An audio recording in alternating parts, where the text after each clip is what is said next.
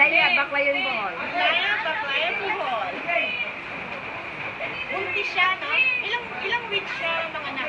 Ano po, ah, five months. Five months? So, ilang, ilang ahas? Yung first, 60 eggs. 60? Tapos, 35 lang yung nabuhay. 35 lang na half lang na Oh. Yung mga maliliit, nung pag-entrance nyo, yun na po yung mga anak niya. Beses ka na mabuntis? Depende po. Yung sabi nila, ah, after 2 years or 3 years, para hindi na-stress.